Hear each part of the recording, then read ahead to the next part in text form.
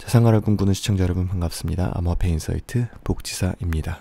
이 영상을 처음 보신다면 구독과 알람 설정을 꼭 부탁드립니다. 암호화폐뿐만이 아니라 어딘가 자산에 투자를 하고 계신 분들이라면 모두들 다 관심이 있어 하는 것이 있는데요. 바로 세금입니다. 돈이 있는 곳에 세금이 있다라는 이야기를 하잖아요. 그러니까 수익이 생기면 뭐 납세 의무를 다하는 것은 필수이니까 대한민국 국민이라면 당연한 거죠. 근데 암호자산 분야에서는 아직 세금이 정확히 정리된 게 없죠. 제 영상을 보시는 분들 중에 있을지는 모르겠는데 혹시 17년도 불장 때 싹 다 정리하고 지금 여유롭게 건물주 하시면서 영상 보시는 분 혹시 있으신가요? 예, 그런 분들은 이 과세에서 아마 논외일 겁니다. 굉장히 많이 버신 분들도 있으실 텐데요. 음, 참 부럽습니다. 이게 아니라 아무튼 그 제가 하고 싶었던 말은 자 이제부터 암호화폐를 통해 수익을 내시는 분들은 어찌되었건 아마도 세금을 내게 되실 거라고 생각합니다. 뭐 물론 법률적으로 제대로 자리 잡기 전에 수익을 보고 빠지시는 분들이라면 어떨지 모르겠는데 예, 저의 경우 평단이 그렇게 좋지 않아서 예, 아직 멀었기 때문에 제가 수익을 볼 때는 아마 세금을 내야 될 것 같습니다.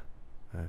자 아무튼 현 정부는 가상자산 우리는 암호자산이라고 말하는 그것에 대해서 이제 과세 기준을 마련해 고심하고 있다라고 하는데요. 올해 안에 국내 거주자에 대한 과세 방침을 마련함으로써 세임 기반을 확보한다라는 방침인데요. 하지만 구체적인 기준은 아직 없다는 지적도 제기가 되고 있습니다.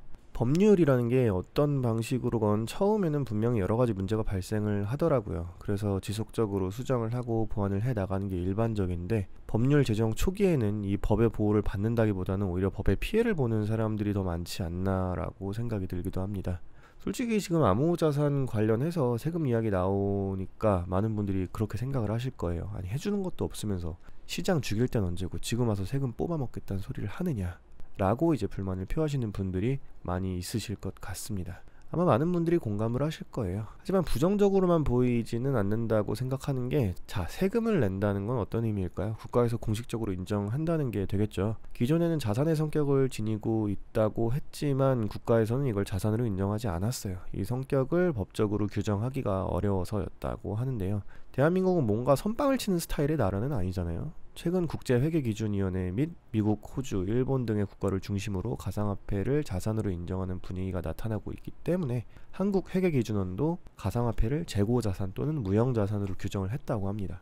그리고 지난해 말 여러분들도 알고 계시는 뉴스일 텐데요. 국내 대형 거래소 빗썸 코리아를 상대로 비거주자의 원화 출금액에 대한 소득세법상 기타 소득을 적용했던 일이 있었는데요. 이게 여전히 논란의 여지가 많습니다.